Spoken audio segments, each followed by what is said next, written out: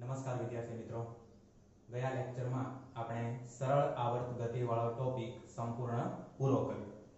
ત્યાર પછીનો આજનો આપણો નવો પ્રશ્ન છે કે નિયમિત વર્તુળમય ગતિ એ સરળ આવર્ત ગતિ છે એમ બતાવો. બરાબર? પ્રશ્ન શું પૂછેલો છે? બતાવો કે અથવા તો સાબિત કરો કે નિયમિત વર્તુળમય ગતિ એ સરળ આવર્ત ગતિ છે. બરાબર? તો સૌથી પહેલા આપણને નિયમિત વર્તુળમય ગતિ એટલે શું? એ ખબર હોવી જોઈએ. ચેપ્ટર નંબર 4 સમતલમાં ગતિ. એમાં આપણે છેલ્લો ટોપિક ભણી ગયા છીએ, નિયમિત વર્તુળમય ગતિ. તો નિયમિત વર્તુળમય ગતિ કહેવાય કોને? તો કે જ્યારે કોઈ કણ અથવા તો પદાર્થ વર્તુળાકાર પથ ઉપર કેન્દ્રને અનુલક્ષીને અચળ કોણીય ઝડપે ગતિ કરતો હોય, ત્યારે તે કણ કે પદાર્થ એ નિયમિત વર્તુળમય ગતિ કરે છે તેમ કહેવાય. બરાબર? એક તો વર્તુળાકાર પથ હોવો જોઈએ, અચળ કોણીય ઝડપથી ગતિ થવી જોઈએ અને કેન્દ્રને અનુલક્ષીને કણ અથવા તો પદાર્થ ગતિ કરવો જોઈએ. તો એ નિયમિત વર્તુળમય ગતિ છે તેમ કહેવાય. બરાબર? આ તો વાત થઈ નિયમિત વર્તુળમય ગતિની વ્યાખ્યા. આપણે સાબિત કરવાનું છે કે નિયમિત વર્તુળમય ગતિ એ સરળ આવર્ત ગતિ છે. તો એના માટે આપણે એક પ્રયોગ કરીએ. એક દોરી લઈ દોરીના એક છેડે આપણે બોલ બાંધવાનો છે. બરાબર છે? પછી સમજો કે આ એક સમક્ષિતિજ સમતલ છે. આ સમક્ષિતિજ સમતલમાં દોરી સાથે બાંધેલા દડાને આપણે કેન્દ્રને અનુલક્ષીને અચળ કોણીય ઝડપે ગતિ કરાવવાનો છે. બરાબર? ફરીવાર, આ એક સમક્ષિતિજ સમતલ છે. આપણી પાસે દોરી સાથે બાંધેલો એક દડો છે. એ દડાને આ સમક્ષિતિજ સમતલમાં કેન્દ્રને અનુલક્ષીને શું કરવાનું છે? અચળ કોણીય ઝડપે ગતિ કરાવવાનો છે. એટલે દડો એ સમક્ષિતિ સમતલને લંબ, નિયમિત વર્તુળમય ગતિ કરે છે એમ કહેવાય. બરાબર? અને એનું જે કેન્દ્ર છે, વર્તુળનું જે કેન્દ્ર છે, એ દડા માટે નિયત બિંદુ તરીકે વર્તે. બરાબર છે? આ તો વાત થઈ દડાની નિયમિત વર્તુળમય ગતિ. પણ એ નિયમિત વર્તુળમય ગતિ સરળ આવર્ત ગતિ છે એવું આપણે સાબિત કરવું હોય તો આ જ પ્રયોગ છે આપણે અંધારાવાળા ઓરડામાં કરવાનો. બરાબર? આપણી પાસે આનું આ જે સમક્ષિતિ સમતલ છે. આપણી પાસે દોરી સાથે બાંધેલો એક બોલ છે. બરાબર? ધારો કે આ બાજુથી આપણે એક ટોર્ચ લાઇટ રાખીએ છીએ. સામે આપણી પાસે એક દિવાલ છે. આ બાજુ શું છે? ટોર્ચ લાઇટ અને આ બાજુ શું છે? દિવાલ છે. બરાબર? હવે આ સમક્ષિતિ સમતલ છે. એ સમક્ષિતિજ સમતલમાં દોરી સાથે બાંધેલો દડો એ શું કરે છે? નિયમિત વર્તુળમય ગતિ કરે. આ રીતે દડો છે એ સમક્ષિતિજ સમતલને લંબ નિયમિત વર્તુળમય ગતિ કરે છે. આ બાજુથી ટોર્ચ ચાલુ છે. બરાબર? તો નિયમિત વર્તુળમય ગતિ કરતા દડાનો પડછાયો એ આપણને દિવાલ ઉપર જોવા મળશે. અને એ પડછાયો એ સરળ આવર્ત ગતિ કરતો હશે. બોલ છે એ શું કરે છે? નિયમિત વર્તુળમય ગતિ કરે છે. બરાબર? આ બાજુ આપણે ટોર્ચ રાખી છે. ટોર્ચના પ્રકાશના કારણે આપણને દિવાલ ઉપર નિયમિત વર્તુળમય ગતિ કરતા દડાનો પડછાયો દેખાશે. અને એ પડછાયો કેવી ગતિ કરતો હશે? તો કે સરળ આવર્ત ગતિ કરતો હશે. બરાબર? આમ નિયમિત વર્તુળમય ગતિ એ સરળ આવર્ત ગતિ છે એમ આપણે કહી શકીએ. બરાબર છે? હવે એને આપણે આકૃતિની મદદથી સમજીએ. ધારો કે અહીંયા આગળ આપણી પાસે ટોર્ચ છે. બરાબર? અને ટોર્ચ છે એ ધારો કે પ્રકાશિત છે. આ આપણી પાસે જે દડો છે એ શું કરે છે? તો કે નિયમિત વર્તુળમય ગતિ કરે છે. નિયમિત વર્તુળમય ગતિ કરતો દડો જે દોરી સાથે બાંધેલો છે. અહીંયા આપણી પાસે દીવાલ છે. બરાબર? આ જે છે એ શું છે? મધ્યમાન સ્થાન છે. આ કેન્દ્ર છે. બરાબર છે? જેને આપણે મધ્યમાન સ્થાન તરીકે લીધેલું છે. હવે ખાસ ધ્યાન રાખજો. આ બાજુથી ટોર્ચ ચાલુ છે. બરાબર? અહીંયા સમક્ષિતિ સમતલ છે. એને લંબ દોરી સાથે બાંધેલો દડો એ નિયમિત વર્તુળમય ગતિ કરે છે. આ ટોર્ચના પ્રકાશના કારણે આ નિયમિત વર્તુળમય ગતિ કરતા દડાનો પડછાયો આપણને દિવાલ ઉપર દેખાશે. તો દડો નિયમિત વર્તુળમય ગતિ કરતો હશે. પડછાયો શું કરતો હશે? દિવાલ ઉપર સરળ આવર્ત ગતિ કરતો હશે. બરાબર?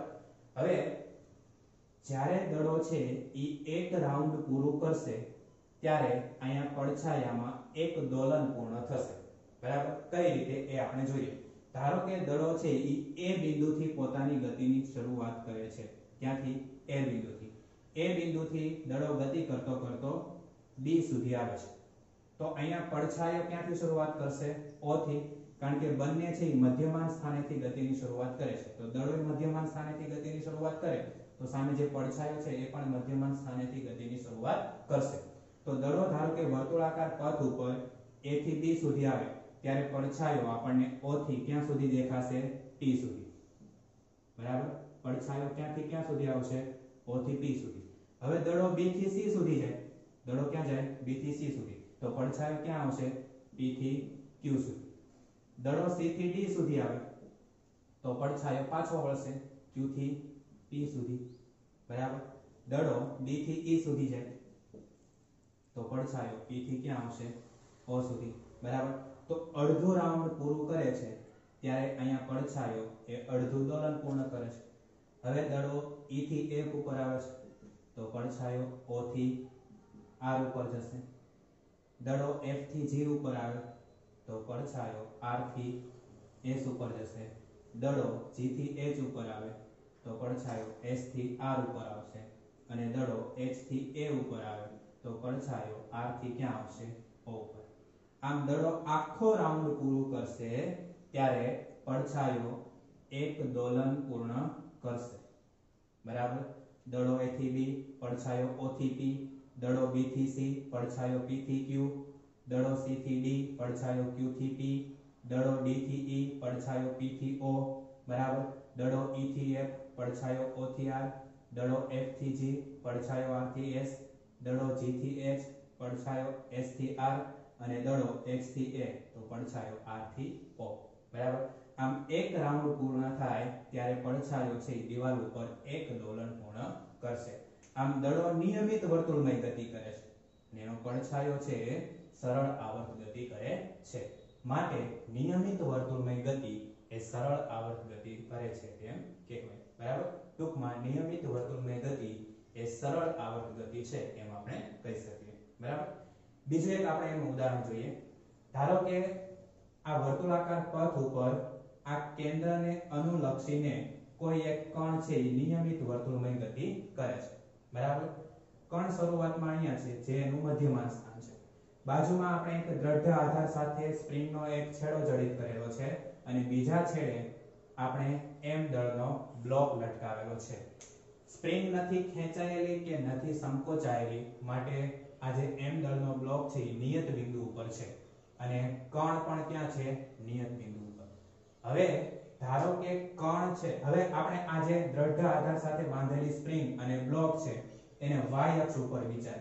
ખાસ સમજો દ્રઢ આધાર સાથે બાંધેલી સ્પ્રિંગ અને એની સાથે બાંધેલો બ્લોક એને આપણે ક્યાં વિચારીએ? y અક્ષ ઉપર. એટલે બ્લોક ક્યાં છે? નિયત બિંદુ ઉપર છે. ધારો કે બ્લોક અત્યારે અહીંયા છે અને કણ અહીંયા છે. બરાબર? હવે કણ ધારો કે a થી b ઉપર આવે છે. A થી ક્યાં આવે છે? કણ b ઉપર. અચળ કોણીય ઝડપથી ગતિ કરે છે એટલે કણ a થી b ઉપર આવે છે.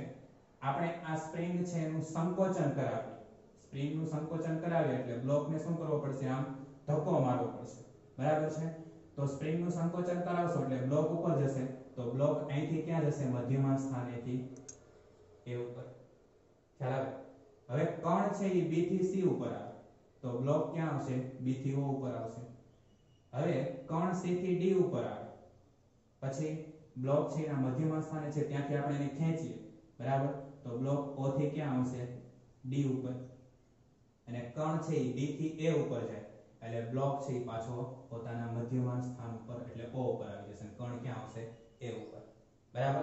તો સ્પ્રિંગ સાથે બાંધેલા બ્લોકને જો આપણે y અક્ષ ઉપર વિચારીએ અને કણ છે એ વર્તુળાકાર પથ ઉપર ગતિ કરતો હોય, તો કણ છે એ નિયમિત વર્તુળમય ગતિ કરે છે એમ કહેવાય. અને બ્લોક છે એ કેવી ગતિ કરે છે? સરળ આવર્ત ગતિ. ખાસ સમજો, કણ અને બ્લોક બંને મધ્યમાન સ્થાન ઉપર છે. ધારો કે હવે કણ છે a થી b ઉપર જાય છે, તો બ્લોક o થી b ઉપર આવે.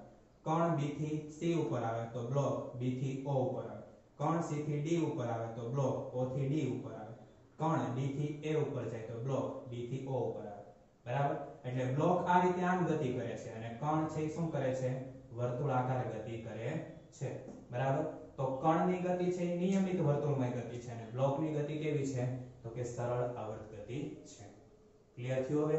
બરાબર? તો નિયમિત વર્તુળમય ગતિ એ સરળ આવર્ત ગતિ છે. એમ અહીંયા આપણે સાબિત કરીશું. બરાબર?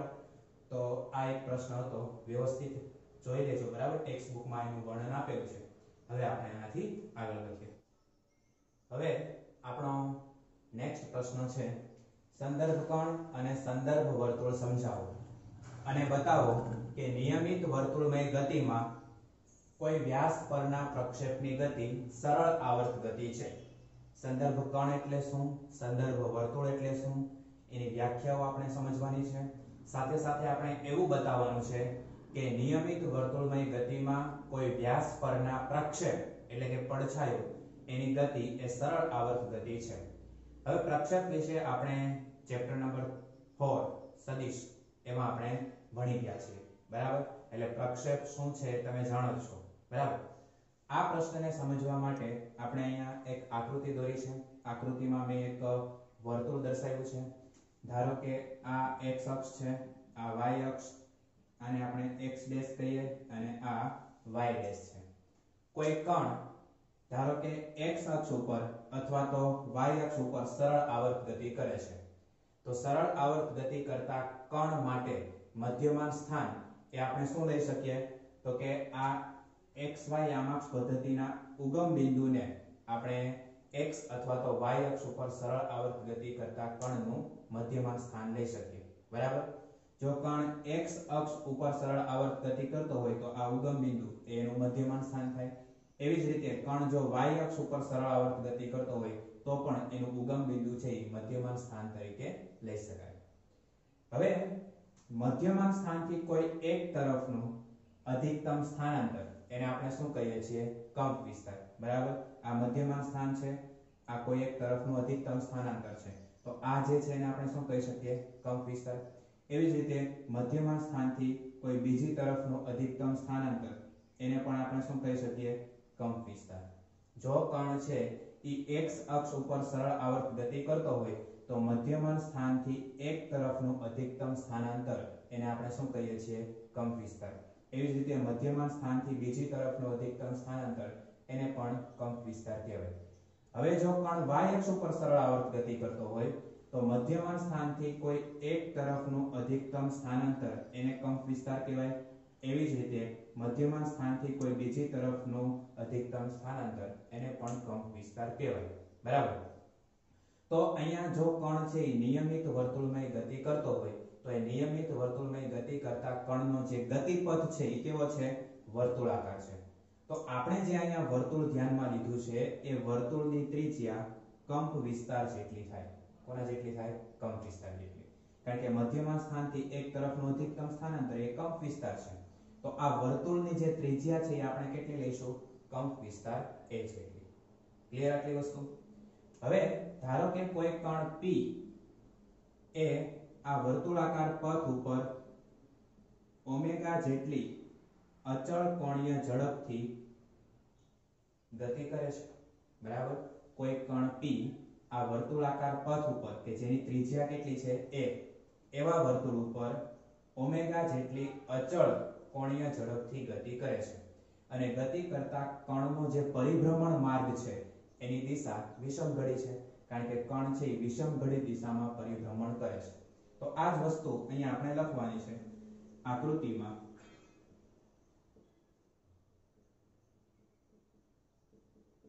એ ત્રિજ્યાના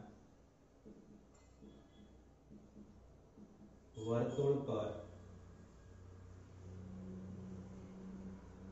ઓમેગા જેટલી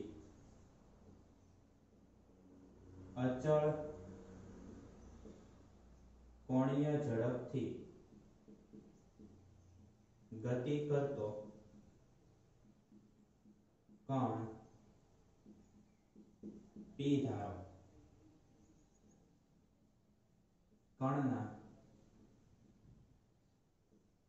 પરિભ્રમણની દિશા વિષમ ઘડી છે. કણ p એ વિષમ ઘડી દિશામાં પરિભ્રમણ કરે છે. તો આકૃતિમાં એ ત્રિજ્યાના વર્તુળ પર ઓમેગા જેટલી કોણીય ઝડપથી ગતિ કરતો એક કણ p ધારેલો છે. આ કણ p નો જે પરિભ્રમણ માર્ગ છે એ વિષમ ઘડી દિશામાં છે. ક્લિયર હવે ધારો કે કણ છે એ t બરાબર 0 સમયે. કેટલા સમયે? T બરાબર 0 સમયે આ p1 સ્થાને છે. કોઈ કણ t બરાબર 0 સમયે ક્યાં સ્થાને છે? P1 સ્થાને. તો એ કણનો સ્થાન સદિશ આપણે કયો દોરી શકીએ? OP1 બરાબર? કણનો સ્થાન સદિશ કયો દોરી શકાય? OP1 આ સ્થાન સદિશ OP1 એમણે આ x અક્ષની દિશા સાથે બનાવેલો આ જે ખૂણો છે, એને હું ફાઈ કહું છું. અને ફાઈ એ આપણી પાસે પ્રારંભિક કળા તરીકે વર્તે. ખ્યાલ છે? t બરાબર 0 સમયે કણ ક્યાં છે? p1 સ્થાને. થોડું વ્યવસ્થિત લખીએ એટલે તમને સમજાય. બરાબર? આ p1 સ્થાન છે અને t બરાબર 0 સમય છે. તો t બરાબર 0 સમયે કણ p1 સ્થાને છે. બરાબર? એનો સ્થાન સદિશ OP1 છે. સ્થાન સદિશ OP1 એ x અક્ષની દિશા સાથે બનાવેલો ખૂણો કેટલો છે? phi છે. હવે આપણે કણ p નો x અક્ષ પર લંબપાદ દોરીએ. આ કણ p નો x અક્ષ પર લંબપાદ છે. લંબપાદનું x અક્ષ પરનું જે સ્થાન છે એને આપણે p1 ડેશ કહીએ. તો આ p1 અને p1 ડેશ એ કણ p નો x અક્ષ પરનો લંબપાદ છે. અને આ જે સ્થાન સદિશ OP1 છે, એનો x અક્ષ પરનો જે પ્રક્ષેપ છે, એ કયો છે? OP1 ડેશ બરાબર? તમે આ સ્થાન સદિશ OP આવી રીતે આમ ત્રાસો છે OP1 બરાબર? અહીંથી આમ ટોર્ચ રાખો. ટોર્ચને ચાલુ કરો. તો સ્થાન સદિશ OP1 એનો પડછાયો તમને આ x અક્ષ ઉપર દેખાશે. OP1 ડેશ જેને આપણે કહીએ છીએ. તો OP1 ડેશ એ પ્રક્ષેપ છે. કોનો? OP1 નો. અને P1 P1 ડેશ એ શું છે? તો કે કણ P નો x અક્ષ પરનો લંબપાદ છે. ક્લિયર એટલી વસ્તુ? તો આજ આપણે અહીંયા લખવાનું છે. T બરાબર 0 સમયે કણ P1 સ્થાને છે. T બરાબર 0 સમયે કણ P1 સ્થાને છે. સ્થાન સદિશ. સદિશ OP1A x અક્ષની દિશા સાથે બનાવેલ કોણ ફાઈ છે. બરાબર? OP1 સ્થાન સદિશ, જેણે x અક્ષની દિશા સાથે બનાવેલો કોણ ફાઈ છે. અને ફાઈ એ પ્રારંભિક કળા છે. તથા સ્થાન સદિશ OP1 નો x અક્ષ પરનો પ્રક્ષેપ સદિશ OP1 ડેશ છે. બરાબર? હવે ધારો કે આપણે t બરાબર t સમયે કણ અહીંયા t2 સ્થાને છે. કયા સમયે? T બરાબર t સમયે કણ t2 સ્થાને છે. તો એનો સ્થાન સદિશ શું થશે? OP2 સ્થાન સદિશ શું થાય? OP2 હવે કણ P1 થી P2 સુધી પહોંચે છે, ત્યાર શું કરે છે? આટલું એક કોણીય સ્થાનાંતર કરે છે. અને આ કોણીય સ્થાનાંતર કેટલું છે? તો કે ઓમેગા t જેટલું. બરાબર? કોણીય સ્થાનાંતર કેટલું છે? ઓમેગા t જેટલું. આ ઓમેગા t કઈ રીતે એ પહેલા સમજી લઈએ. તો આપણી પાસે એક વ્યાખ્યા છે. ઝડપ બરાબર અંતરના છેદમાં સમય. તો અંતર બરાબર શું થાય? ઝડપ ગુણ્યા સમય. થાય? આવું આપણી પાસે સૂત્ર છે. ઝડપ બરાબર અંતરના છેદમાં સમય. તો અંતર બરાબર ઝડપ ગુણ્યા સમય. અહીંયા કણ છે વર્તુળાકાર પથ ઉપર ગતિ કરે છે. એટલે એ જે અંતર કાપશે, એ કેવું અંતર કાપશે? તો કે કોણીય અંતર. બરાબર? એની જે ઝડપ છે એ કેવી ઝડપ હશે? કોણીય ઝડપ. ઇન્ટુ સમય. આ જે કોણીય અંતર છે, એને આપણે થીટા કહીએ. કોણીય ઝડપ કેટલી છે? ઓમેગા જેટલી અને સમય કેટલો છે? t તો કણ p1 થી p2 સુધી પહોંચે છે. ત્યારે એણે કાપેલું જે કોણીય અંતર થીટા છે, એ કોના જેટલું મળે છે આપણને? ઓમેગા ટી જેટલું. આ રીતે આપણે ઓમેગા ટી અહીંયા લખી શકીએ. બરાબર છે? હવે કુલ કેટલો ખૂણો બનાવે છે? સ્થાન સદિશ OP2 એને x અક્ષની દિશા સાથે બનાવેલો ખૂણો. બરાબર? આ સ્થાન સદિશ OP2 છે. તો એને આ x અક્ષની દિશા સાથે બનાવેલો ખૂણો કેટલો થશે? તો કે ઓમેગા t પ્લસ ફાઈ ખ્યાલ આવે છે? ઓમેગા t પ્લસ ફાઈ જેટલો એને ખૂણો બનાવ્યો કહેવાય છે. હવે આ કણ p નો આપણે જો x અક્ષ ઉપર પ્રક્ષેપ લઈએ, બરાબર? તો આ શું કર્યું છે આપણે? કણ p નો લંબપાત x અક્ષ પરનો. જેને હું x અક્ષ ઉપર નામ આપું છું p2 ડેશ તો આ જે OP2 ડેશ છે, એ શું છે? તો કે સ્થાન સદિશ OP2 નો x અક્ષ પરનો પ્રક્ષેપ. કેટલો? OP2 ડેશ અહીંથી તમે આમ ટોર્ચ ચાલુ કરો, બરાબર? તો આ OP2 છે, એનો પડછાયો તમને x અક્ષ ઉપર આ રીતે દેખાશે. તો એને આપણે શેના વડે દર્શાવીએ છીએ? OP2 ડેશ વડે. તો એ લખીએ. T બરાબર t સમયે કણ ઓમેગા ટી જેટલું કોણીય અંતર કાપીને P2 સ્થાને પહોંચે છે. સ્થાન સદિશ. OP2 એ ધન એક્સ અક્ષની દિશા સાથે બનાવેલ કોણ? કેટલો છે? Omega T plus five omega T plus five છે. તથા સ્થાન સદિશ OP2 નો x અક્ષ પરનો પ્રક્ષેપ. મતલબ કે પડછાયો. કેટલો છે? સદિશ OP2 ડેશ છે. સમજાય? તો હવે જુઓ, કણ જેમ જેમ વર્તુળાકાર માર્ગે ગતિ કરે છે, તેમ તેમ એનો પ્રક્ષેપ છે એ શું કરે છે? X અક્ષ ઉપર ગતિ કરે છે. શરૂઆતમાં આ જે પ્રક્ષેપ છે કેટલો હતો? તો કે OP જેટલો. જો OP જેટલો. કણ P સ્થાને હતો એનું મધ્યમાન સ્થાન કણ હવે P થી P1 સ્થાને પહોંચે. કણ ક્યાં પહોંચે છે? P થી P1 સ્થાને.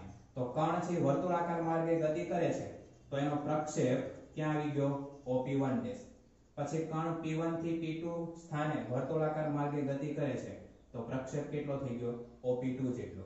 તો પહેલા સ્થાન હતું OP પછી કણ જેમ વર્તુળાકાર માર્ગે ગતિ કરે એમ પ્રક્ષેપ OP1 ડેશ પછી પ્રક્ષેપ OP2 ડેશ થઈ થઈ ગયો? બરાબર. હવે કણ ધારો કે ગતિ કરતો કરતો અહીંયા y અક્ષ ઉપર P3 સ્થાને આવે છે. તો એનો જે સ્થાન સદિશ થાય કેટલો થાય? તો કે આ એનો સ્થાન સદિશ થશે OP3 બરાબર? તો x અક્ષ પરનો એનો પ્રક્ષેપ ક્યાં આવી જશે? મધ્યમાં સ્થાન ઉપર આવી જશે. બરાબર? તો પ્રક્ષેપ છે, એનું સ્થાન છે ઘટતું જાય છે. બરાબર? કણ જેમ વર્તુળાકાર માર્ગે ગતિ કરે છે એમ મધ્યમાન સ્થાનથી પ્રક્ષેપનું સ્થાન ઘટતું જાય છે. હવે શું થશે? ધારો કે કણ છે એ અહીંયા P4 સ્થાને પહોંચે છે. આ ખાસ સમજવા જેવી વસ્તુ છે. બરાબર? તો સ્થાન સદિશ શું લખાય? OP4 સ્થાન સદિશ શું થાય? OP4 અને આપણે x અક્ષ પરનો લંબપાદ દોરવો હોય તો શું દોરે? તો કે અહીંયા P4 ડેશ આવશે. તો આ જે સ્થાન સદિશ છે એ કેટલો થશે? OP4 dash. થાય? હવે કણ ધારો કે અહીંયા આવે છે. P5 સ્થાને. તો સ્થાન સદિશ શું થાય? OP5 x અક્ષ પરનો લંબપાદ શું થશે? P5 dash. અને પ્રક્ષેપ શું થાય? તો કે op5 કણ છે અહીંયા આવી જાય છે. આને હું P6 કહી દઉં. બરાબર? તો કણ જ્યારે P6 સ્થાન ઉપર આવશે, ત્યારે એનો પ્રક્ષેપ, એનો સ્થાન સદિશ શું થાય? તો કે OP6 બરાબર? અને એનો પ્રક્ષેપ છે એ પણ કેટલો હશે? OP6 કેટલો એટલે કણ જો P3 સ્થાને હતો ત્યારે પ્રક્ષેપ મધ્યમાન સ્થાન ઉપર કણ P4 સ્થાને આવ્યો ત્યારે પ્રક્ષેપ OP4 ડેશ કણ P5 સ્થાને આવ્યો ત્યારે પ્રક્ષેપ OP5 ડેશ કણ P6 ઉપર આવે ત્યારે પ્રક્ષેપ OP6 ડેશ તો કણ અહીંથી અહીંયા સુધી ગતિ કરે છે? તો પ્રક્ષેપ છે એ શું કરે છે? મધ્યમાન સ્થાન ઉપર ગતિ કરે છે. પછી કણ P3 થી P6 સુધી ગતિ કરે તો પ્રક્ષેપ છે એ મધ્યમાન સ્થાનથી દૂર જાય. હવે કણ છે એ અહીંથી x ડેશથી લઈ અને y ડેશ સુધી ગતિ કરશે આ રીતે. ત્યારે હવે પ્રક્ષેપ આમ પાછો જશે. બરાબર? કણ y ડેશથી x સુધી ગતિ કરશે ત્યારે કણ છે વળી પાછો પ્રક્ષેપ છે એ વળી પાછો p સ્થાને આવશે. આમ કણ છે શું કરે છે? વર્તુળાકાર માર્ગે ગતિ કરે છે. અને પ્રક્ષેપ શું કરે છે? તો કે x અક્ષ ઉપર સરળ આવર્ત ગતિ કરે છે. ખ્યાલ આવે છે? કોઈને એમ થાય કે મારે પ્રક્ષેપથી x અક્ષની જગ્યાએ y અક્ષ ઉપર લેવો છે, તો પણ કઈ વાંધો નહીં. બરાબર? ધારો કે કણ p1 સ્થાને છે, ત્યારે એનો પ્રક્ષેપ y અક્ષ ઉપર આ થશે. થાય કે ન થાય? બરાબર? સ્થાન સદિશ છે એ OP1 અને પ્રક્ષેપ આ આપણે લઈ શકીએ. આને આપણે OP1 ડેશ કહીએ. કણ જ્યારે P2 સ્થાને આવે, બરાબર? ત્યારે એનો પ્રક્ષેપ આ થશે. સ્થાન સદિશ OP2 અને પ્રક્ષેપ શું થાય? OP2 ડેશ ખ્યાલ આવે? કણ P3 સ્થાન ઉપર આવે, ત્યારે પ્રક્ષેપ અને સ્થાન સદિશ બંને એકબીજા ઉપર ઓવરલેપ થઈ જશે. પછી કણ જ્યારે P4 સ્થાને ઉપર આવે, ત્યારે પ્રક્ષેપ આ લેવલ. લેવાય? કણ P5 સ્થાન ઉપર આવે, ત્યારે પ્રક્ષેપ આ. કણ P6 સ્થાન ઉપર આવે, ત્યારે પ્રક્ષેપ આ. તો કહેવાનો મતલબ શું છે? કણ છે એ ધારો કે આમ વર્તુળાકાર માર્ગે ગતિ કરતો હોય ધારવાનું નથી, પણ વર્તુળાકાર માર્ગે જ ગતિ કરે છે. બરાબર? કણ કેવા માર્ગે ગતિ કરે છે? વર્તુળાકાર માર્ગે. અને જો આપણે એનો પ્રક્ષેપ y અક્ષ ઉપર લઈએ, તો પહેલા કણ અહીંથી અહીંયા સુધી પહોંચશે, ત્યારે પ્રક્ષેપ આમ ઉપર જશે. પછી કણ અહીંથી અહીંયા સુધી પહોંચશે, ત્યારે પ્રક્ષેપ આમ નીચે આવશે. કણ અહીંથી અહીંયા સુધી પહોંચે, ત્યારે પ્રક્ષેપ આમ નીચે આવશે. બરાબર? કણ અહીંથી અહીંયા સુધી પહોંચે, ત્યારે પ્રક્ષેપ પાછો ઉપર જશે. એટલે તમે પ્રક્ષેપની ગતિ x અક્ષ ઉપર લ્યો કે y અક્ષ ઉપર લ્યો.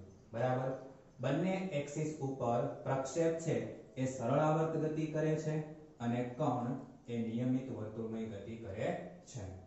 બરાબર છે? તો અહીંયા આપણે લખીએ કે જેમ જેમ કણ P વર્તુળ માર્ગે ગતિ કરે, તેમ તેમ x અક્ષ પરના એક્સ અક્ષ પરના તેના લંબ પાદનું સ્થાન એક્સ ટી બરાબર A cos omega T plus phi વડે અપાય છે. જે કણનો કોઈ પણ સમયે સ્થાન સદિશનો x ઘટક આપે છે. બરાબર? જેમ જેમ કણ વર્તુળાકાર માર્ગે ગતિ કરે, એમ એમ આ એના જે લંબપાદ છે, એનું સ્થાન એ કયા સૂત્ર વડે અપાય? Xt બરાબર a cos omega t phi વડે. અને આ જે સૂત્ર છે, એ આપણને કણનો કોઈ પણ સમયે x અક્ષ પરનો ઘટક આપે છે. સ્થાન સદિશનો x અક્ષ પરનો ઘટક આપે છે. બરાબર છે? આમ, નિયમિત વર્તુળમય ગતિમાં, નિયમિત વર્તુળમય ગતિમાં કોઈ પણ વ્યાસ પરના પ્રક્ષેપની ગતિ એ સરળ આવર્ત ગતિ છે. બરાબર? આ x અક્ષ ઉપર પ્રક્ષેપ ગતિ કરતો હોય તો આ x અક્ષ શું છે? વર્તુળનો વ્યાસ જ છે. એવી જ રીતે y અક્ષ ઉપર પ્રક્ષેપ ગતિ કરતો હોય તો y અક્ષ પણ વર્તુળનો વ્યાસ જ છે. બરાબર? એટલે નિયમિત વર્તુળમય ગતિ કરતા કણ માટે. કોઈ પણ વ્યાસ પરના પ્રક્ષેપની ગતિ એ સરળ આવર્ત ગતિ છે એમ આપણે કહી શકીએ. બરાબર? હવે વાત આવે છે સંદર્ભ કણ અને સંદર્ભ વર્તુળ. તો આ જે કણ વર્તુળાકાર માર્ગે ગતિ કરે છે એ કણને આપણે સંદર્ભ કણ કહીએ છીએ.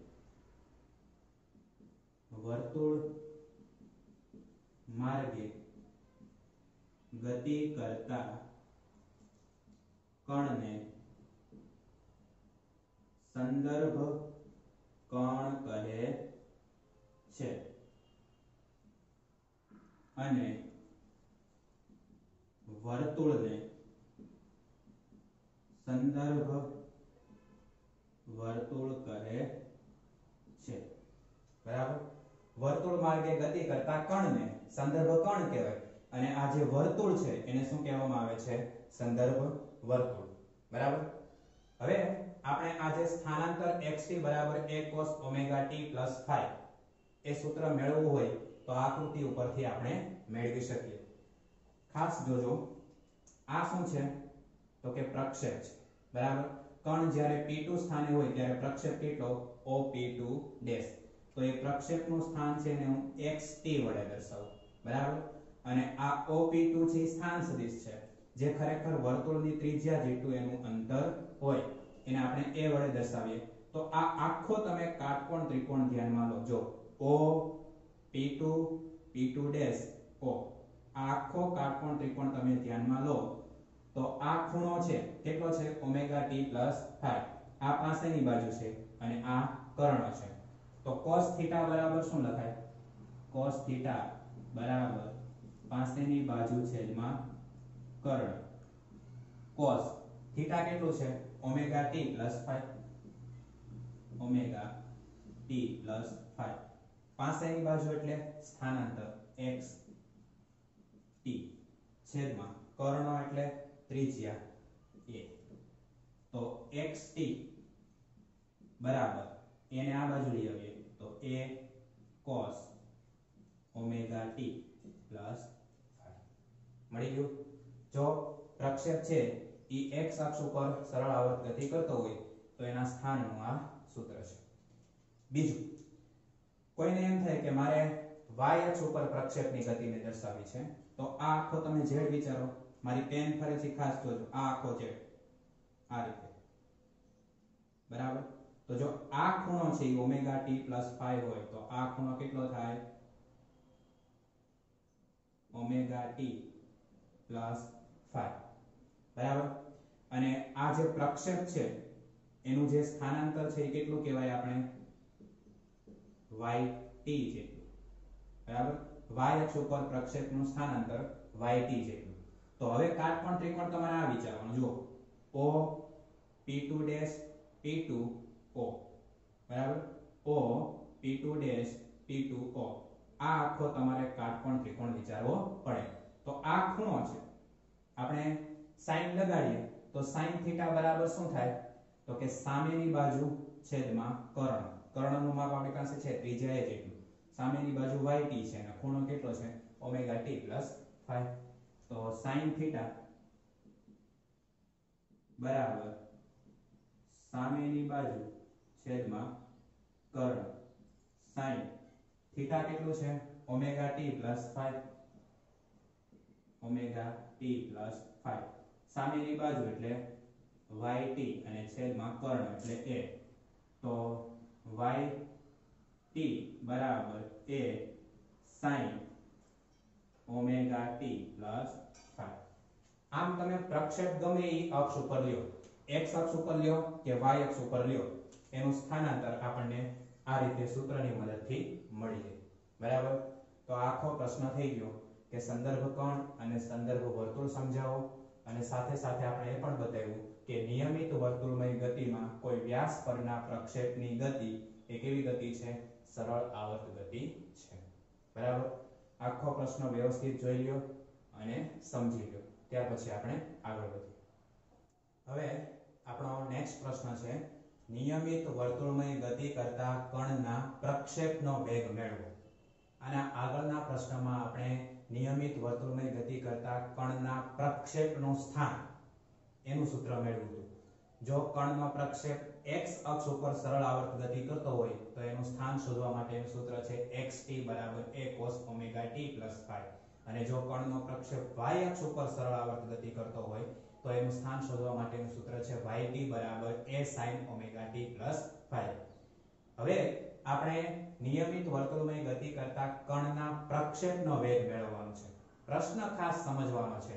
નિયમિત વર્તુળમય ગતિ કરતા કણનો વેગ નથી, પણ કણના પ્રક્ષેપનો વેગ આપણે મેળવવાનો છે. બરાબર? તો આ પ્રશ્નને સમજવા માટે ફરીવાર આપણે એની જ આકૃતિ ઉપયોગમાં લઈએ.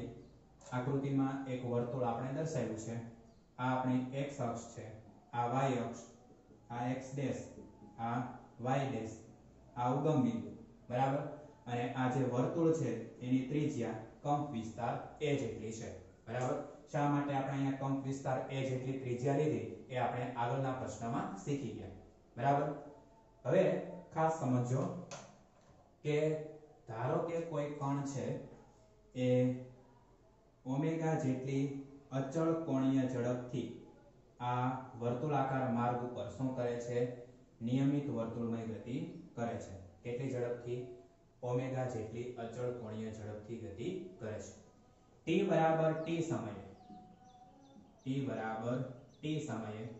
ધારો કે કણ છે, એ p સ્થાને છે. તો કણનું સ્થાન દર્શાવતો સ્થાન સદિશ કેટલો થશે? તો કે સ્થાન સદિશ OP આ સ્થાન સદિશ OP એ x અક્ષ સાથે બનાવેલો ખૂણો. એ આપણે લઈશું ઓમેગા t 5 હવે આ ઓમેગા t 5 શા માટે આવ્યું? એ આપણે આગળના પ્રશ્નમાં ભણ્યા હતા. કે જો t બરાબર 0 સમયે કણ p1 સ્થાને હોય, બરાબર છે? તો OP1 એ x અક્ષ સાથે બનાવેલો ખૂણો phi થાય, જેને આપણે પ્રારંભિક કળા કહીએ છીએ. અને t બરાબર t સમયે કણ છે ઓમેગા જેટલું ઓમેગા t જેટલું સ્થાનાંતર કરી અને p2 સ્થાને પહોંચે, તો સ્થાન સદિશ OP2 એ x અક્ષ સાથે બનાવેલો ખૂણો કેટલો થાય? ઓમેગા t 5 થાય તો અહીંયા આપણે શું લઈ લીધું છે? t બરાબર t સમયે કણ ધારો કે p સ્થાને છે. તો સ્થાન સદિશ OP એ x અક્ષ સાથે બનાવેલો ખૂણો કેટલો થશે? ઓમેગા t 5 થશે. બરાબર? તો એ રીતે આપણે ઓમેગા t 5 લખ્યું છે. હવે આપણે આ જે સ્થાન સદિશ OP છે એનો પ્રક્ષેપ દર્શાવવો છે x અક્ષ ઉપર. કારણ કે આપણે સૂત્ર જે મેળવવાનું છે પ્રક્ષેપના વેગનું મેળવવાનું છે. તો પહેલા આપણે કણનો x અક્ષ પરનો લંબપાદ દોરીએ અને લંબપાદ બિંદુને નામ આપું છું p તો સ્થાન સદિશ OP એનો x અક્ષ પરનો પ્રક્ષેપ શું થશે? OP તો આ જે પ્રક્ષેપ છે, એના વેગનું આપણે સૂત્ર મેળવવાનું છે. અને એ પહેલા પ્રક્ષેપના વેગનું સૂત્ર આપણે મેળવીએ. એ પહેલા આ કણ જે નિયમિત વર્તુળમય ગતિ કરે છે, એનો રેખીય વેગ કેટલો? એ આપણે લખી લઈએ. બરાબર? આકૃતિમાં એ ત્રિજ્યાના વર્તુળ પર ઓમેગા જેટલી અચળ કોણીય ઝડપથી ગતિ કરતા કણનો રેખીય વેગ કોણીય ઝડપના. કોણીય ઝડપના. ત્રિજ્યા. એ ગણો હોય છે. Therefore, રેખીય વેગ v બરાબર a ઇન્ટુ ઓમેગા ખાસ વાક્ય સમજજો કે આકૃતિમાં એ ત્રિજ્યાના વર્તુળ પર ઓમેગા જેટલી અચળ કોણીય ઝડપથી ગતિ કરતા કણનો રેખીય વેગ કોના જેટલો હોય? તો કે કોણીય ઝડપના ત્રિજ્યા એ ગણો હોય છે. તો આ રેખીય વેગ v, આ કોણીય ઝડપ ઓમેગા. એની ત્રિજ્યા એ ગણો. બરાબર? એટલે v બરાબર a ઓમેગા હવે આ સૂત્ર છે એ આપણે આગળ ચાપ ગતિમાં ભણી ગયા છે. નિયમિત વર્તુળમય ગતિ કરતા કણનો રેખીય વેગ. સૂત્ર તમને યાદ હોય તો આવું હતું. V r ઓમેગા જ્યાં r છે એ નિયમિત વર્તુળમય ગતિ કરતા કણની ત્રિજ્યા છે. બરાબર? ઓમેગા કોણીય ઝડપ છે. તો અહીંયા આપણે ત્રિજ્યા કેટલી લઈએ છીએ? A લઈએ છીએ. તો અહીંયા r છે. એની જગ્યાએ આપણે શું લીધું છે? A લીધું છે. બરાબર? તો આ આપણને મળી ગયો નિયમિત વર્તુળમય ગતિ કરતા કણની રેખીય વેગ કેટલો? તો કે v a ઓમેગા હવે t સમયે આ રેખીય વેગની દિશા કઈ હશે? એ પણ જાણવું જરૂરી છે. બરાબર? t સમયે.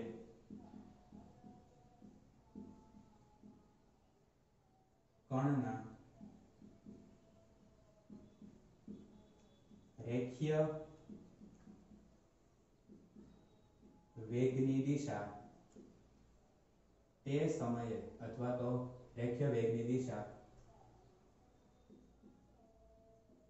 તે સમયે વર્તુળ પરના તે બિંદુને દોરેલા સ્પર્શકની દિશામાં હશે. બરાબર? તે સમયે કણના રેખીય વેગની દિશા. એ તે સમયે વર્તુળ પરના તે બિંદુને, તે બિંદુ એટલે આ બિંદુ. આ બિંદુએ વર્તુળ પર આપણે એક સ્પર્શક દોરીએ, તો એ સ્પર્શકની દિશામાં કણના રેખીય વેગની દિશા હશે. તો હું અહીંયા એક સ્પર્શક દોરું છું. બરાબર? તો આ જે સ્પર્શક છે, એ શું દર્શાવે છે? રેખીય વેગની દિશા દર્શાવે છે. અને રેખીય વેગ કેટલો છે? V a ખ્યાલ આવે છે? રેખીય વેગ v બરાબર a ઓમેગા હવે આપણે એક કામ કરવાનું છે કે આ જે રેખીય વેગ v બરાબર a ઓમેગા છે, એના આપણે બે ઘટકો વિચારીએ. બરાબર છે? એક ઘટક વિચારીશું આપણે y અક્ષને સમાંતર. અને એક ઘટક વિચારીશું આપણે x અક્ષને સમાંતર. બરાબર? આ રેખીય વેગ v, એના આપણે બે ઘટકો વિચાર્યા છે. એક છે y અક્ષને સમાંતર એક છે x અક્ષને સમાંતર હવે ખાસ જોજો, આખો z બનશે. બરાબર? આ ખૂણો ઓમેગા t 5 તો આ ખૂણો કેટલો થાય? ઓમેગા t 5 જ થાય. બરાબર? કારણ કે આ આખો z છે. એટલે બંને યુગ્મ કોણ કેવા હોય? સરખા હોય. તો આ ઓમેગા t 5 થાય. તો આ પણ કેટલો થાય? ઓમેગા t 5 થાય. બરાબર? હવે બીજો કયો ખૂણો ઓમેગા t 5 થશે? તો કે બીજો આ ખૂણો. આ જે ખૂણો છે એ કેટલો થશે? તો કે ઓમેગા t 5 જેટલો થશે. હવે શા માટે આ ઓમેગા t 5 જેટલો ખૂણો થાય? એની સમજૂતી હું તમને આપું છું. બરાબર? અહીંયા ખાસ જોજો.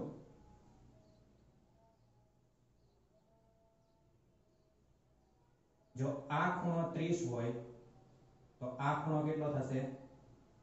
30 નો આ ખૂણો 30 હોય તો આ ખૂણો કેટલો થશે? 30 નો હવે આ ટોટલ ખૂણો કેટલો થાય? તો કે 90 નો થાય. તો આ ખૂણો થીટા છે. તો આ થીટા હશે નહીં. મતલબ કે આ ખૂણો 30 છે, તો આ 30 નહીં હોય. પણ આ કેવો હશે? તો કે 90 30 હશે. મતલબ કે જો આ ખૂણો થીટા હોય, તો આ ખૂણો થીટા હશે નહીં.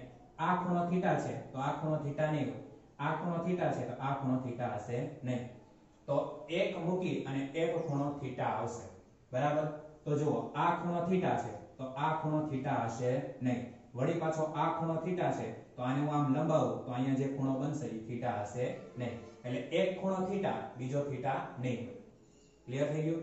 એટલે આ ઓમેગા પ્લસ ફાઈવ છે, તો આ ખૂણો ઓમેગા ટી પ્લસ ફાઈવ નો થાય, પણ આ ખૂણો છે ઓમેગા પ્લસ ફાઈવ થશે. હવે આપણે જે બે ઘટકો વિચાર્યા છે એમાં, વેગનો થીટા ખૂણે ઘટક આપણે સૌ જાણીએ છીએ, આ વેગ છે. એનો ખૂણો આ થીટા છે, ઓમેગા ટી પ્લસ ફાઈવ તો આ વેગનો થીટા ખૂણે ઘટક કેટલો થશે?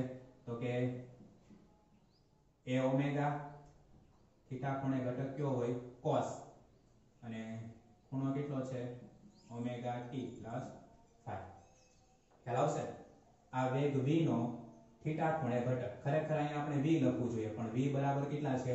a ઓમેગા તો a omega cos omega t 5 હવે આ ખૂણો છે, એ આપણને કેટલો મળ્યો? ઘટક. વેગનો a omega cos omega t 5 તો આ ઘટક આપણને કયો મળશે? તો કે a omega sin omega t 5 પણ એ દિશા જુઓ, કઈ છે? ઋણ x ની દિશામાં છે એટલે આ કેવું આવશે? માઇનસ. ખ્યાલ આવે છે? આ દિશા ઋણ x ની દિશામાં છે. હવે એને સમાંતર કોણ છે? તો કે આપણો પ્રક્ષેપ છે.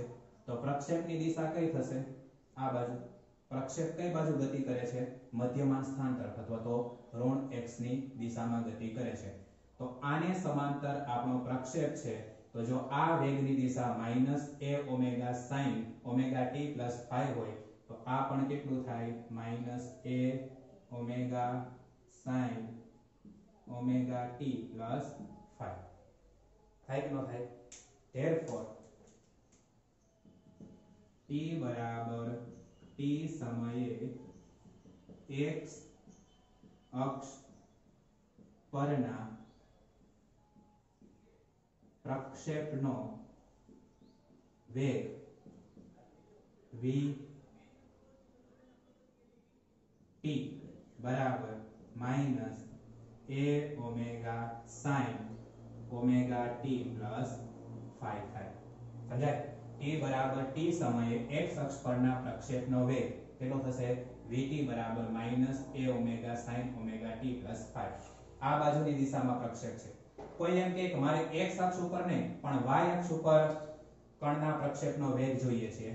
તો અહીંયા આપણે લખી દઈએ કે t બરાબર t સમયે વાય અક્ષ પરના પ્રક્ષેપનો વેગ. બરાબર? તો આપણને વાય અક્ષ ઉપર પ્રક્ષેપ શું મળશે? આ મળશે. બરાબર? તો એને સમાંતર કોણ છે? a omega cos omega t 5 તો y અક્ષ પરનો પ્રક્ષેપ vt બરાબર a omega cos omega T plus ખ્યાલ એટલે જો આપણે પ્રક્ષેપની ગતિ x અક્ષ ઉપર લઈએ, તો એ પ્રક્ષેપનો વેગ આપણને મળશે vt બરાબર a omega sin omega t 5 અને જો પ્રક્ષેપની ગતિ છે y અક્ષ ઉપર લઈએ, તો y અક્ષ ઉપર આપણને વેગ મળશે a omega cos omega t 5 બરાબર છે? x અક્ષ ઉપર સ્થાન આપણે xt બરાબર a cos ઓમેગા t 5 ઉપરથી શોધીએ છીએ. પણ વેગ vt બરાબર a omega sin omega t 5 ઉપરથી શોધીએ છીએ. એવી જ રીતે x અક્ષ ઉપર આપણે સોરી y અક્ષ ઉપર આપણે સ્થાન છે xt બરાબર a sin ઓમેગા t 5 ઉપરથી શોધીએ છીએ. તો y અક્ષ ઉપર વેગ આપણને vt બરાબર a omega cos omega t 5 ઉપરથી મળે. બરાબર? તો આ આપણને પ્રશ્નનો જવાબ મળી ગયો કે નિયમિત વર્તુળમય ગતિ કરતા કણના પ્રક્ષેપનો વેગ એ કેટલો છે? તો કે x અક્ષ ઉપર vt બરાબર a omega sin omega t 5 અને vt બરાબર y અક્ષ ઉપર જો આપણે પ્રક્ષેપનો વેગ દર્શાવીએ તો vt બરાબર sorry a omega cos omega t 5 છે. સમજાયું તો આ રીતે આપણે પ્રક્ષેપના વેગના સૂત્રો મેળવી શકીએ. હવે આપણો નેક્સ્ટ પ્રશ્ન છે, નિયમિત વર્તુળમય ગતિ કરતા કણના પ્રક્ષેપનો પ્રવેગ મેળવો. આના આગળના પ્રશ્નમાં આપણે નિયમિત વર્તુળમય ગતિ કરતા કણના પ્રક્ષેપનો વેગ મેળવો હવે આપણે નિયમિત વર્તુળમય ગતિ કરતા કણના પ્રક્ષેપનો પ્રવેગ મેળવીએ. બરાબર? સેમ ફરી પાછી એની જ આકૃતિ આપણે સમજીએ.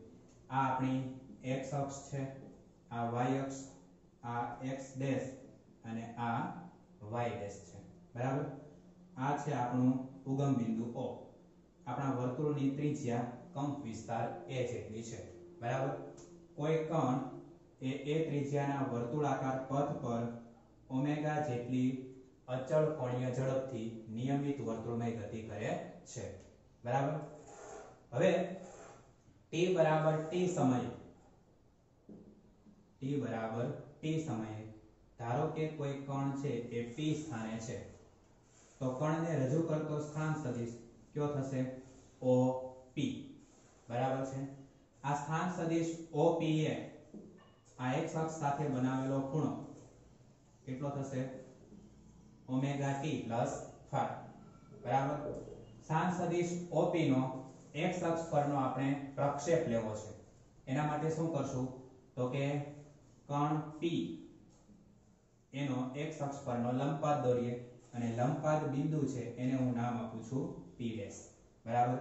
તો સ્થાન સદિશ OP નો x અક્ષ પરનો પ્રક્ષેપ OP છે. આપણે આ પ્રક્ષેપનો પ્રવેગ કેટલો એ મેળવવાનો છે અને એ પહેલા કણ કે જે નિયમિત વર્તુળમય ગતિ કરે છે એનો પ્રવેગ કેટલો એ મેળવી લઈએ અને પછી આપણે કણના પ્રક્ષેપનો પ્રવેગ મેળવશું. તો સૌપ્રથમ આપણે અહીંયા લખીએ કે આકૃતિમાં એ ત્રિજ્યાના વર્તુળ પર એ ત્રિજ્યાના વર્તુળ પર ઓમેગા જેટલી અચળ કોણીય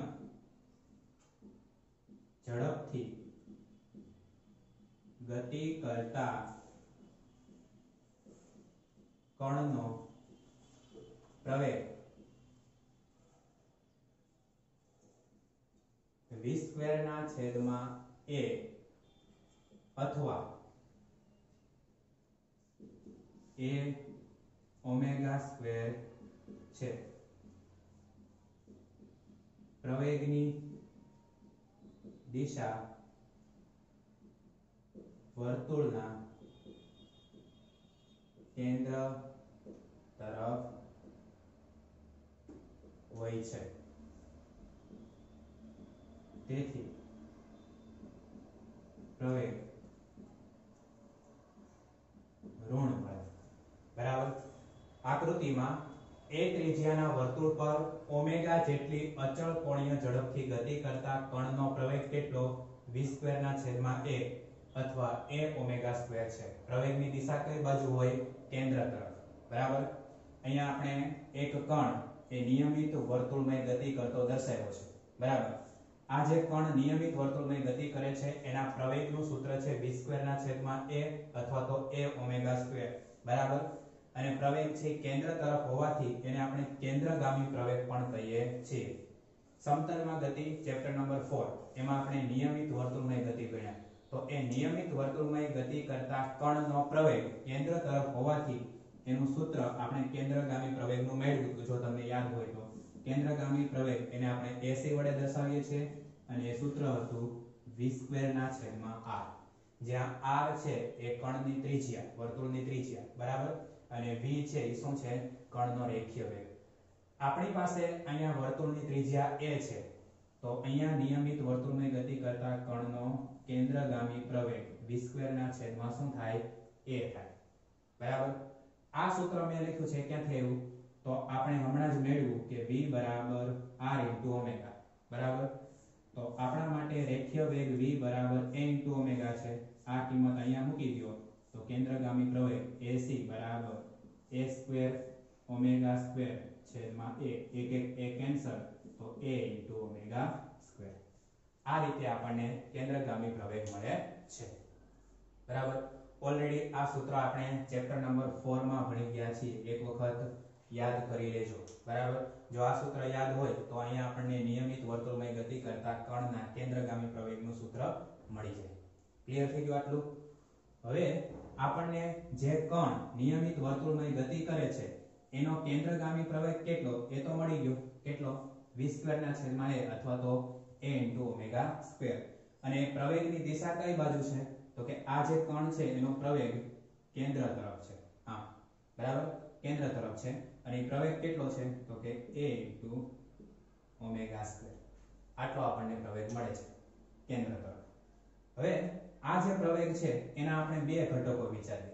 એક ઘટક વિચારીએ આપણે x અક્ષને સમાંતર અને એક ઘટક વિચારીએ આપણે y અક્ષને સમાંતર. આ ઘટક આપણે x અક્ષને સમાંતર વિચાર્યો, આ ઘટક y અક્ષને સમાંતર વિચાર્યો અહીંયા શું છે? તો કે ખૂણો ઓમેગા t ફાઈ છે.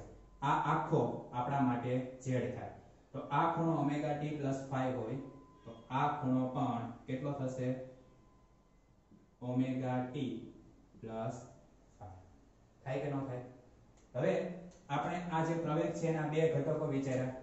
એક આપણે વિચાર્યો x અક્ષને સમાંતર, એક વિચાર્યો y અક્ષને સમાંતર. તો પ્રવેગનો થીટા ખૂણે ઘટક શું આવશે?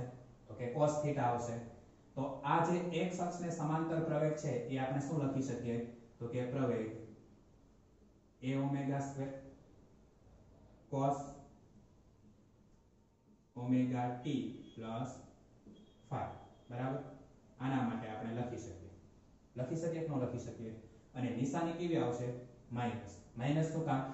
તો કે પ્રવેગની દિશા એ ઋણ x અક્ષ તરફ છે. બરાબર? cos ને લંબ ઘટક કયો થાય? sin તો અહીંયા આપણે લખવું હોય તો શું લખી શકાય? a omega square sin omega t plus phi. પણ એ દિશા કઈ બાજુ છે? તો કે ઋણ y અક્ષ ઉપર. તો એ પ્રવેગ પણ કેવો આવશે? માઇનસ આવશે. ખ્યાલ આવે છે? પ્રવેગ છે a ઓમેગા સ્ક્વેર. એના બે ઘટકો વિચાર્યા એક x અક્ષને સમાંતર, એક y અક્ષને સમાંતર, બરાબર? x અક્ષને સમાંતર ઘટક cos લીધો, y અક્ષને સમાંતર ઘટક sin લીધો, બરાબર? તો પ્રવેગ શું મળશે? a omega square cos omega t plus phi. અને બીજો શું મળે? a omega square sin omega t plus phi. તો અહીંયા આપણે લખી શકીએ કે આકૃતિમાં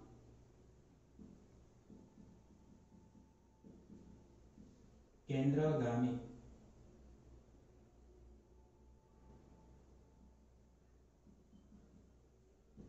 પ્રવેગના બે ઘટકો વિચારતા ટી બરાબર ટી સમયે કણના પ્રક્ષેપનો પ્રવેગ. બરાબર? કઈ અક્ષ ઉપર? X અક્ષ ઉપર. શું મળશે આપણને? રવે at બરાબર. જો આ છે શું છે? તો કે x અક્ષને સમાંતર ઘટક છે. બરાબર? તો આ પણ શું થાય? X અક્ષને સમાંતર થાય. પ્રક્ષેપ કઈ બાજુ છે? X અક્ષ ઉપર છે. તો જો આનું મૂલ્ય છે a omega square cos omega t plus 5 હોય આ મૂલ્ય પણ કેટલું થાય? A omega square cos omega t plus 5 થાય કે ન થાય? બરાબર? તો t બરાબર t સમયે કણના પ્રક્ષેપનો પ્રવેગ x અક્ષ ઉપર આપણે વિચારીએ તો કેટલો મળશે આપણને? Minus a omega square cos omega t plus 5 બરાબર? અને આપણે આમ લખીએ, માઇનસ ઓમેગા સ્ક્વેર પહેલા લખવું. પછી લખું a cos omega t plus 5 તો આના બરાબર શું લખી શકાય માઇનસ ઓમેગા સ્ક્વેર xt લખાય કે ન લખાય જ્યાં xt બરાબર a cos omega t plus શું છે 5 બરાબર x અક્ષ ઉપર સ્થાન એ xt બરાબર a cos omega t plus 5 છે અને એક્સ અક્ષ ઉપર જે આપણને કણનો સોરી પ્રક્ષેપનો જે પ્રવેગ મળે છે કેટલો મળે છે? Minus omega square T. કોઈ એમ કે આપણે y અક્ષ ઉપરનો પ્રક્ષેપ લખવો છે, પ્રક્ષેપનો પ્રવેગ, તો આપણે આમ લખી શકીએ કે t બરાબર t સમયે y અક્ષ પરના કણના પ્રક્ષેપનો પ્રવેગ શું લખાશે?